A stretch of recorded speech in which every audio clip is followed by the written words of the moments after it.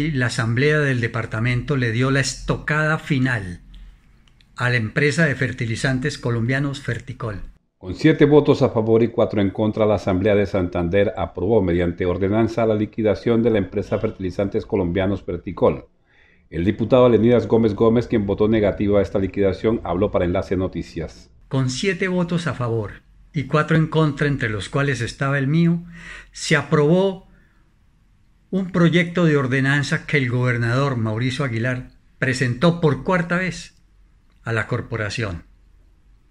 Una gran pérdida para Barranca Bermeja, una gran pérdida para Santander. Uno no se explica cómo una empresa que tiene el mercado asegurado, que le pagaban la uria, los abonos nitrogenados por adelantado, que tenía la materia prima ahí en la refinería y una planta de trabajadores especializados y comprometidos, haya sido inducida a la quiebra. Considera el diputado Gómez que la decisión tomada por los diputados de Santander afecta al empleo de calidad que se daba en una empresa catalogada como la segunda en importancia en Barranca Bermeja después de Ecopetrol. Estamos siendo gobernados mal.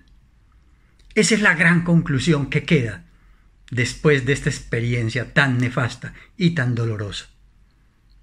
De manera que con dolor en el corazón me permito comunicarles que la Asamblea del Departamento contribuyó a enterrar la empresa de fertilizantes, la segunda empresa más importante de Barranca Bermeja después de Ecopetrol. Una vez sancionada y promulgada la ordenanza que da facultades al gobernador de Santander para hacerlo, este procederá a nombrar un gerente liquidador poniendo fin a la historia de la empresa de abonos nitrogenados de Barranca Bermeja.